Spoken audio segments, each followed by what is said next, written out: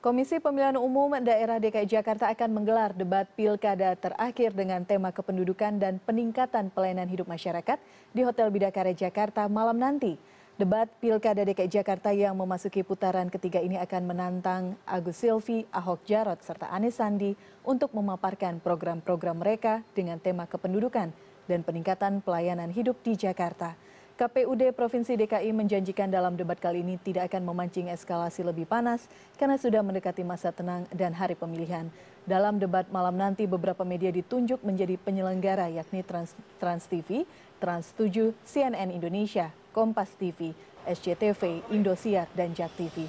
Koresponden senior CNN Indonesia Alvito Dianova Gintings akan memandu jalannya debat.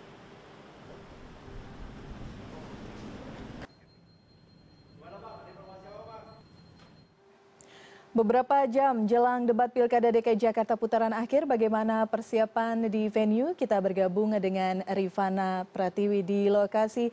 Rifana, selamat siang. Apakah proses sterilisasi area sudah mulai dilakukan? Selamat sore, Alvira. Uh, Gladi Resik menjelang persiapan debat final Pilgub DKI Jakarta saat ini tengah dilakukan.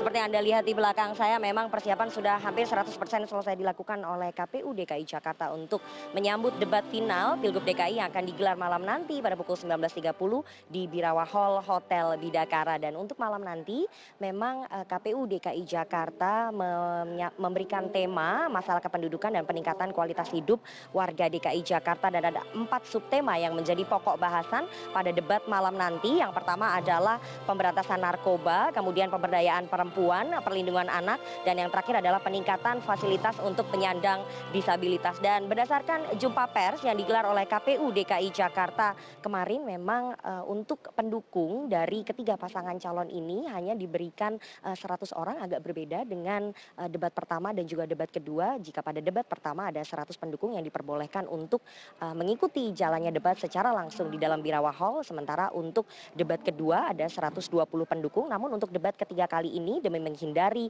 keributan ataupun uh, celaan antar para pendukung, KPU DKI Jakarta menginginkan bahwa ketiga pasangan calon hanya membawa uh, eh, 100 orang pendukung dari ketiga pasangan calon. Dan tadi kami sempat uh, bertanya kepada KPU DKI Jakarta proses sterilisasi mungkin nanti akan dilakukan sekitar pukul 5 sore setelah proses gladi resik ini selesai dilakukan. Untuk pengamanan sendiri sendiri ada 1.700 personil dari Polda Metro Jaya memang diturunkan untuk mengamankan jalannya debat malam nanti. Ada empat zona ring pengamanan yang dipersiapkan oleh Polda Metro Jaya. Ring pengamanan pertama adalah di tempat saya berdiri saat ini di dalam Birawa Hall Hotel Bidakara. Kemudian ring pengamanan kedua adalah di lobi Hotel Bidakara. Untuk ring pengamanan ketiga adalah di luar area Hotel Bidakara dan ring pengamanan keempat adalah di sekitar jalan-jalan utama di area Hotel Bidakara. Dan Elvira ini yang menarik sebetulnya seberapa signifikan sih sebetulnya debat uh, final Pilgub DKI ini bagi ketiga pasangan calon.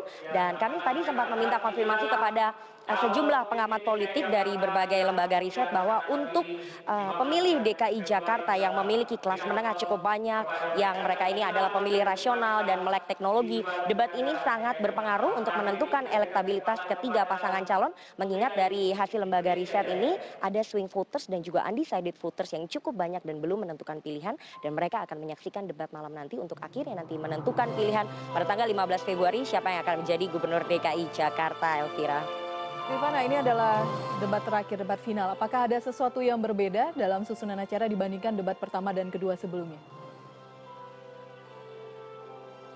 Ya betul sekali Elvira jika kita bandingkan kebetulan saya ada pada debat pertama dan juga debat kedua. Jika pada debat pertama memang moderatornya hanya satu orang kemudian pada debat kedua eh, KPU DKI Jakarta ini menambah moderator menjadi dua orang untuk debat ketiga atau debat final. KPU DKI Jakarta kembali uh, mengembalikan hanya ada satu moderator yang sudah dipilih oleh KPU DKI Jakarta yakni Alvito Deanova untuk memandu jalannya debat malam nanti. Sementara untuk uh, pembagian ataupun rundown acara pada debat kali ini memang agak sedikit berbeda pada debat pertama dan juga debat kedua dibagi ke dalam enam segmen di mana pada segmen pertama ketiga pasangan calon ini diberikan kesempatan untuk menyampaikan visi dan misi dan ini perbedaannya bahwa pada segmen pertama ini ketiga pasangan calon sudah langsung diberikan pertanyaan oleh moderator yang sudah dipersiapkan oleh empat panelis yang dipilih oleh KPU DKI Jakarta. Kemudian pada segmen kedua dan juga segmen ketiga, ketiga pasangan calon masih diberikan pertanyaan oleh moderator dari panelis, namun mereka boleh saling menanggapi. Sementara untuk segmen keempat dan juga segmen kelima, uh, ketiga pasangan calon berhak untuk mengajukan pertanyaan satu sama lain dan boleh saling berdebat, namun ditengahi oleh moderator. Sementara untuk segmen terakhir, memang uh, KPU DKI Jakarta memberikan waktu kepada ketiga pasangan calon untuk memberikan closing statement atau kalimat penutup sebelum debat ditutup oleh moderator Alvito Dianova Elvira. Baik, Rifana, terima kasih informasi Anda langsung dari Hotel Bidakara. Kita lihat nanti malam bagaimana jalannya debat putaran akhir Pilgub DKI Jakarta.